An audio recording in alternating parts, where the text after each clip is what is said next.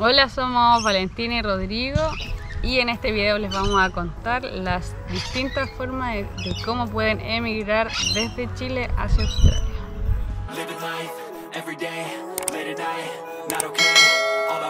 Hola people, bienvenidos a nuestro canal Varo por el Mundo.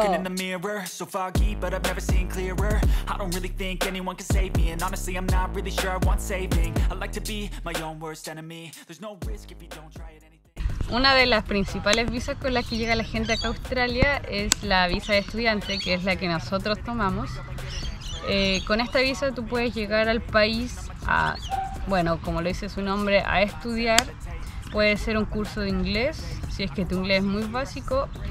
Y para venir con un BED puedes dar distintas pruebas, son cuatro opciones de pruebas que las vamos a dejar aquí anotadas eh, donde tú debes demostrar tu nivel de inglés para que puedas estudiar un curso donde te van a explicar, te van a hablar, te van a hacer pruebas, todo en inglés. Entonces tienes que dominar muy bien el idioma. Eh, cabe mencionar que para venir a estudiar aquí a Australia se necesita un mínimo de 16 años, pero si uno quiere estudiar y trabajar, eh, tiene que ser desde los 18 años en adelante. Aquí para, para trabajar, el gobierno te da 20 horas semanales, pero actualmente por temas de COVID, falta de mano de obra, lo alargó a 40 horas semanales, que esto está hasta el 30 de junio. Ahí el gobierno tiene que decidir si es que se puede seguir trabajando 40 horas semanales o volvemos a las 20 horas semanales. Bueno, esto del límite de las horas es solamente para las personas que estudian un BED o eh, inglés, porque las personas que vienen con un posgrado, un doctorado, no tienen límites de horas de- para trabajar acá. Es solo exclusivamente para estas personas, como nosotros. Eh, otro de los requisitos para llegar acá con esta visa es que debes presentar una carta de inmigraciones, la cual tiene que comen- tú tienes que hablar sobre por qué quieres venir a Australia, tienes que hablar que tienes familia, que tu intención finalmente es venir acá a Australia para cumplir tu meta, que en este caso sería aprender el idioma y después quieres volver a Chile. Eso tiene que quedar muy claro en esta carta. Sí, la verdad es muy importante ese punto porque hemos conocido por la misma agencia que nos trajo a nosotros que han rechazado muchas visas por el simple hecho de que la carta no es tan buena porque se da a entender que uno quiere venirse a estudiar, a vivir prácticamente a Australia y quedarse. Entonces el gobierno aquí lo que es lo que necesita es gente que venga a trabajar y no gente que venga a quedarse, porque ya para quedarse es un tema muy difícil ellos si ven que tú tienes un, una buena situación económica, ellos van a decir, ya, ella no quiere venir a quedarse, ella quiere venir a estudiar. No es que en su país le falte, no es que eh, le está yendo mal, no, ella viene con esa finalidad. Igual a nosotros no nos pidieron demostrar ningún monto, mostrar fotos del banco, nada de eso. Y lo que eso lo hemos sabido por varias personas que hemos conocido de Chile, no le han pedido eso, pero a personas de afuera, de otros países, es muy solicitado. Con esta visa tú puedes venir acá a Australia mínimo tres meses hasta cinco años. Es decir, que puedes venir por tres meses y si te gusta la puedes renovar por seis meses. Después las puedes ir renovando, pero es hasta cinco años que puedes estar en el país y puedes salir y entrar al país las veces que tú quieras, no hay un límite. Eh, las personas que vienen a estudiar inglés acá, eh, por lo menos nosotros estudiamos cuatro horas al día, es decir, 20 horas semanales.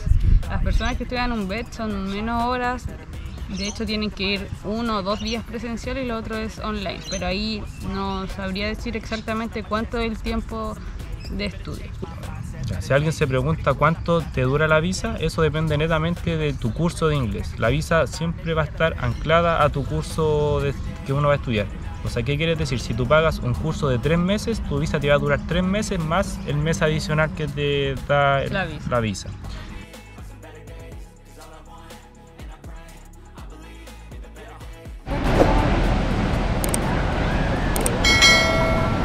Otra forma de viajar a Australia es con la famosa Work and Holiday. Con esta visa tienes que tener entre 18 y 31 años. Para postular esta visa tienes que tener un nivel de inglés ya por sobre la media porque como no vienes a estudiar, eh, tienes que estar preparado con tu nivel de inglés para todos los trabajos a los que tú puedas optar. Entonces para eso tú tienes que dar una prueba que tiene que ser reconocida por el gobierno australiano Acá puedes trabajar a tiempo completo con esta visa y como su nombre lo dice, eh, también puedes vacacionar, o sea, puedes salir del país las veces que tú quieras mientras dure tu periodo de visa.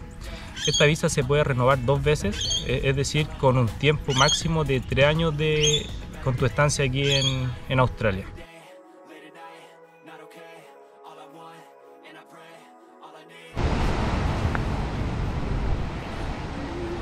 Y otra de las formas en la que puedes llegar a Australia es con una visa temporal de trabajo.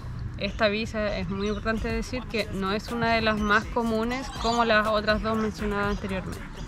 Con esta visa tú puedes venir mínimo de tres meses hasta solo seis meses.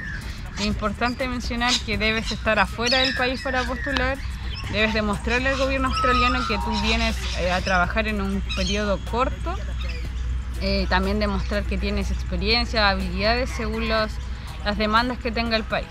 Siguiendo con la misma línea, existe una lista que la pueden buscar perfectamente en internet, o sea, la podemos dejar en la descripción, que es una lista de los trabajos que necesita Australia y principalmente necesitan muchos especialistas y trabajadores de la salud.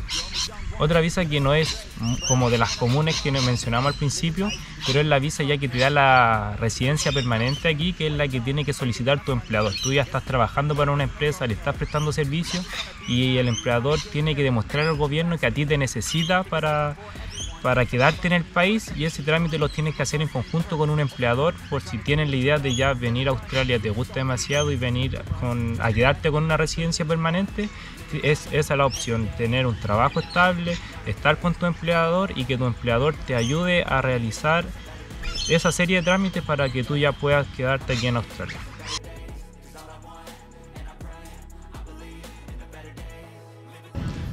Si todavía están interesados y les gusta la idea de emigrar a Australia, quieren saber cuánto cuesta, cuál es el precio real que sale viajar desde Chile a Australia, les vamos a hacer un próximo video con nuestra experiencia de cuánto nos salió viajar desde Chile a Australia con el costo del curso, nuestro seguro médico, todo, todos los trámites que hicimos para poder viajar, les vamos a contar nuestra experiencia y ya que es lo que quieren saber cuánto es lo que cuesta viajar realmente de Chile a Australia.